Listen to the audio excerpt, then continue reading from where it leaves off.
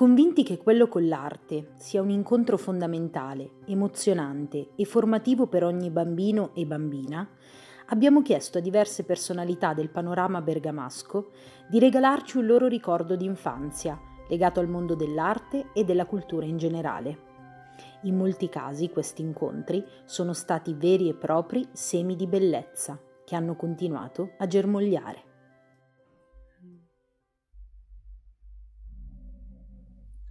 Scotch, leggiamo un po' insieme? Leggiamo un po'.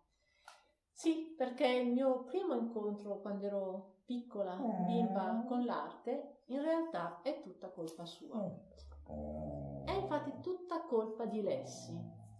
Perché quando ero bambina andava di moda questo film hm, che aveva come protagonista questo bellissimo pastore scozzese che era appunto Lessi. Quindi, come tutti i bambini di quell'età, io desideravo tantissimo poter avere un colli, poter possedere un cane come Lessi, però non potevo averlo. E allora mi sono inventata un modo per poter avere comunque la compagnia di Lessi. Come? Ho iniziato a disegnare.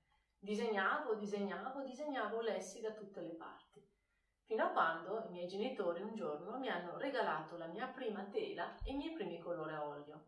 E il primo dipinto che io ho fatto quando ero piccola, davvero molto piccola, sono stati proprio una coppia di lessi. Da questo momento l'amore per l'arte non mi ha davvero mai lasciato. E adesso vi racconto qualcosa dell'incontro degli anni successivi. Il secondo vantaggio della mia infanzia, oltre appunto aver iniziato a disegnare lessi, è che abitavo in una grande casa, una bellissima casa di fine Ottocento, dove vi erano diversi affreschi, diverse opere d'arte anche alle pareti e soprattutto avevo una bella biblioteca.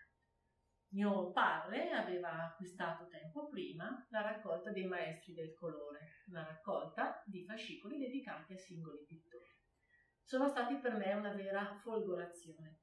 Passavo pomeriggi pomeriggi interi, specialmente d'estate, vacanza dalla, dalla scuola a sfogliare e a studiare queste bellissime immagini.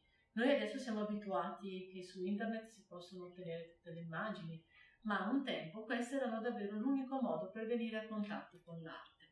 E allora ho iniziato a impaticchirmi, ho iniziato a coltivare sempre di più questa passione, fino ad aver scelto di frequentare una scuola d'arte, la scuola d'arte Andrea Fantoni. Quindi decisi di frequentare questa scuola d'arte che fu davvero per me fondamentale. Non solo perché ho avuto modo di studiare profonditamente la storia dell'arte e dalla storia dell'arte io ho trovato sempre motivo di grandissimo divertimento, di grandissima gioia, proprio nello studiare come l'uomo cercasse di trovare eh, modo per dare forma, colore in modo assolutamente poetico a dei contenuti, a dei contenuti anche profondissimi. E ho avuto modo di imparare tante tecniche pittoriche, l'affresco, l'olio, la tempera, l'acquarello, il carboncino, tutto un bagaglio di esperienze che mi è stato poi utilissimo anche nella mia vita successiva. Ho poi deciso di fare l'architetto ma questo grandissimo amore per l'arte, in modo particolare per l'arte del passato, mi ha poi portato a occuparmi di restauro dei monumenti e intraprendere questa, questa strada. Semmai un rammarico che ho è quello di non aver potuto coltivare la eh, conoscenza musicale, quindi l'educazione alla musica.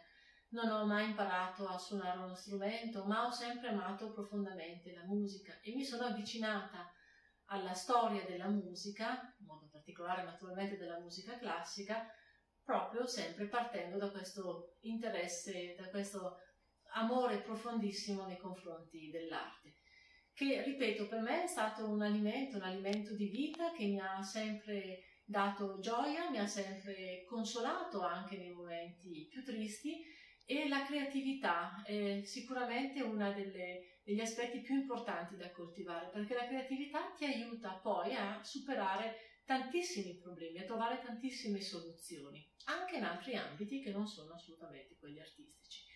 Quindi io quello che posso eh, raccom- raccomandare a tutti i ragazzi e alle loro famiglie è non perdete l'occasione per conoscere innanzitutto le nostre bellezze, perché se le conosciamo, le amiamo e impariamo anche a custodirle, impariamo anche a difenderle e impariamo a farci carico di questa attenzione per poter trasferire anche tutte queste bellezze a chi verrà dopo di noi, i nostri figli e i nostri nipoti. Non perdiamo l'occasione per affrontare, per conoscere eh, temi nuovi, mh, mm, artisti nuovi, esperienze nuove. È un universo in continua evoluzione ed è un universo che sicuramente può dare soddisfazioni a tutti i nostri gusti, a tutti i nostri interessi. Quindi, come dire, buona arte a tutti.